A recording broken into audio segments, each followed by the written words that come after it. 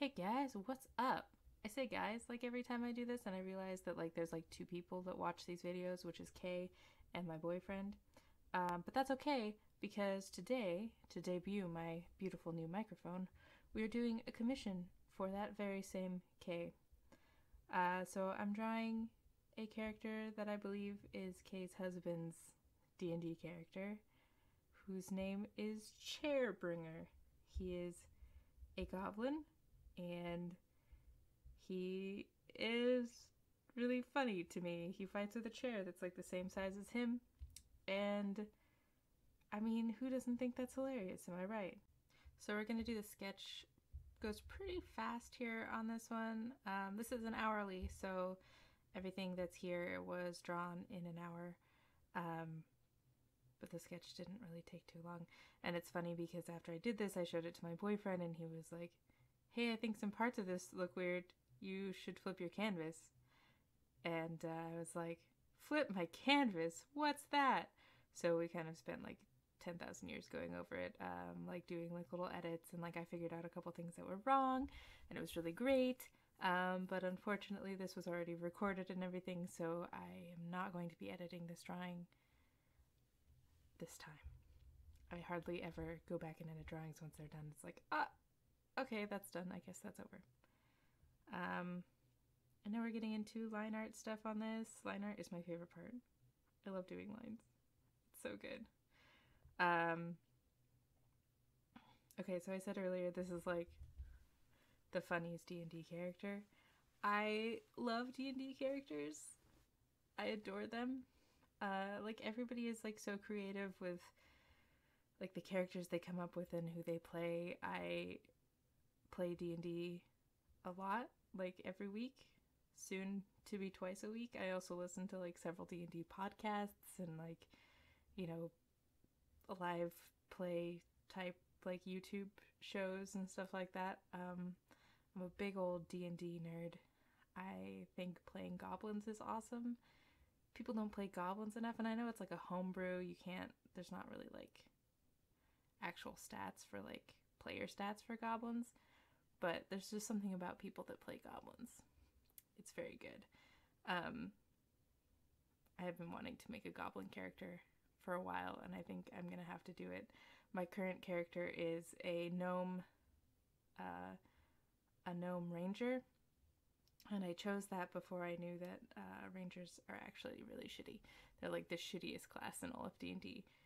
So he's actually about to, as soon as he levels up, which is going to be soon, um, I'm about to take a level of bard, which I'm really excited about. He already basically is a bard. He like does everything but the music part. He's like a little ball of charisma, and I love him. Uh, okay, talking about this drawing in particular.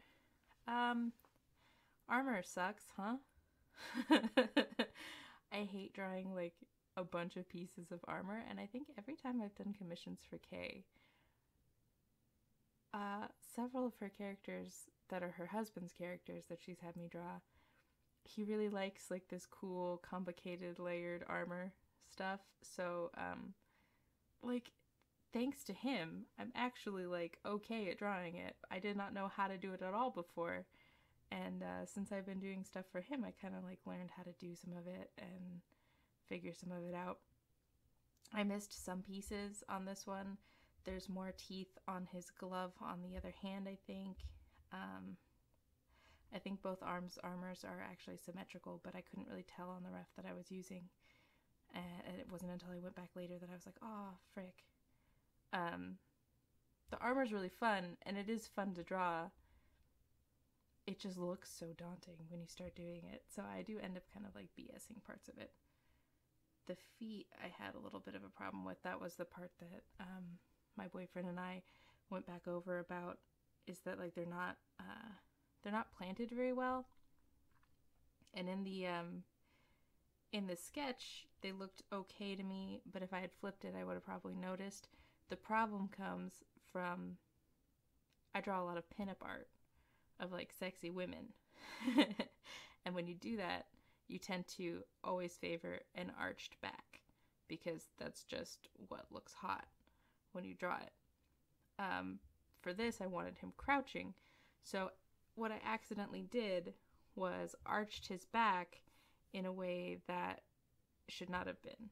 So uh, instead of having his back like concave, I had it convex, I think is how you say that. So I fucked up. So just know, Kei, when you watch this video, I am aware that I fucked up. Uh, as well as I know that I fucked up on some things on the ref. Like, not everything's perfect.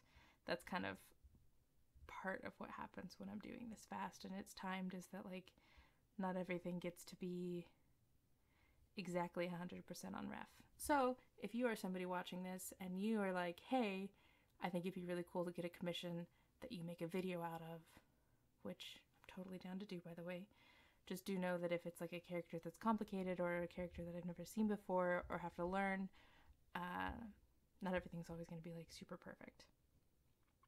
I am really proud though on this one of some of the shapes that I got, and I did get a dynamic pose, even if it's a little bit um, like off kilter. But you know, he was fun to draw because he's he's small, so I had a lot of room to kind of like make him look cartoony, which is something that I'm um, I'm like trying to practice. I was also really pleased with his face turned out pretty cartoony and gobliny as well, which I had wanted to make sure of, and it happened. I am really late to this bandwagon, but I've also been playing a whole lot of Breath of the Wild.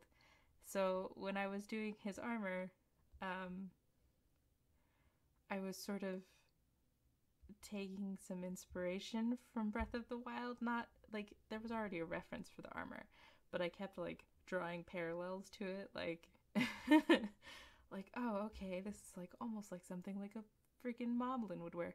I have to like say Breath of the Wild is the first Zelda game I've ever actually played. Um, since oh, I'm dating myself. I haven't played a Zelda game since Link to the Past which has been a while. Uh, okay, so with the shading here, I didn't know exactly what I wanted to do. I put that on multiply and I didn't really like it.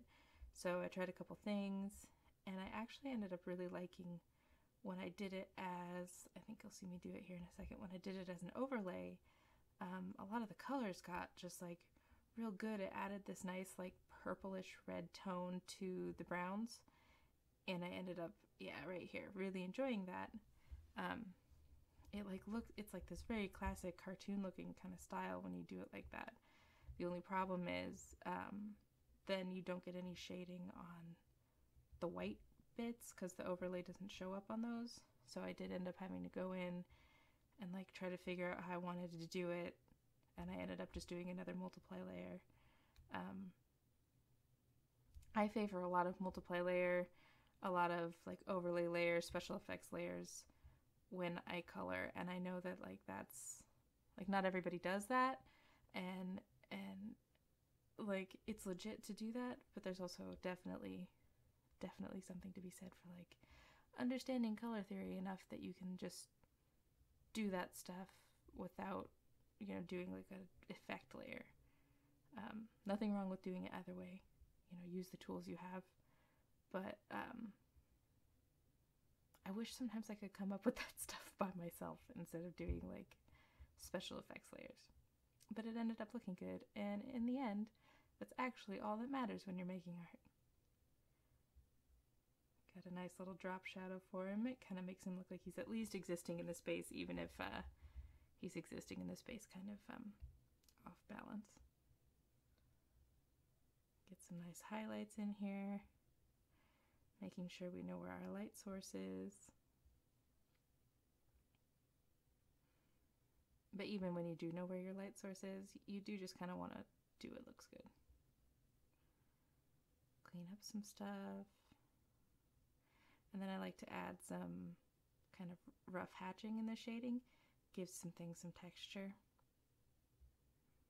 Which is nice and kind of creates some more interest in the actual shading itself. So it's not just like this boring flat cel shading. And some of it I hated. You do what looks good. Alright, well, I hope you enjoyed this. Here he is in all of his chair bringing glory. And uh, I need a cool catchphrase. Bye.